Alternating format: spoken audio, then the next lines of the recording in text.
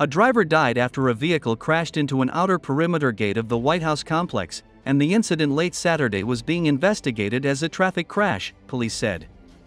The male driver, who was not immediately identified, was found dead in the vehicle following the crash shortly. According to a Secret Service statement, the crash appears to have occurred about 305 meters from the White House at the intersection of Pennsylvania Avenue and the southeast corner of the complex, near the Treasury, the Ellipse, and the South Lawn. In a statement posted on X, Secret Service spokesperson Anthony Guglielmi said there was no threat to the White House and no threat or public safety implications. Security protocols were implemented as officers cleared the vehicle and attempted to render aid to the driver who was discovered deceased, the Secret Service said.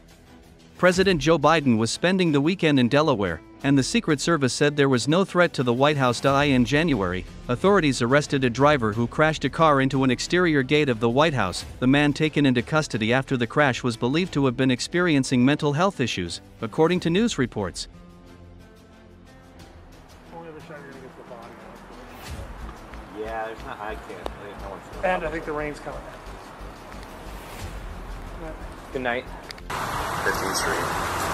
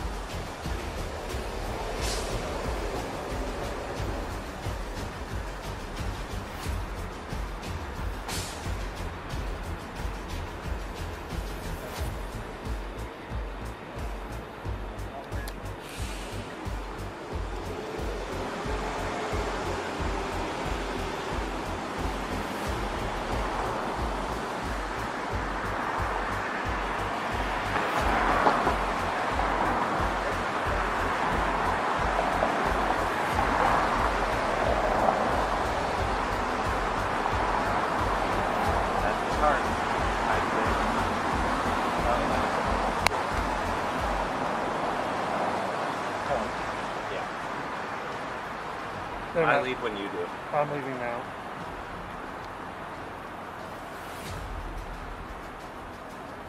Only other shot you're gonna get is the body on. Yeah, there's not. I can't. Didn't know what's And I think the rain's coming.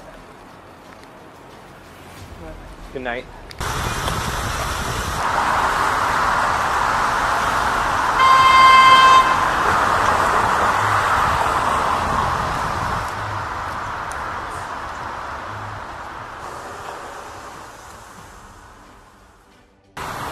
Street.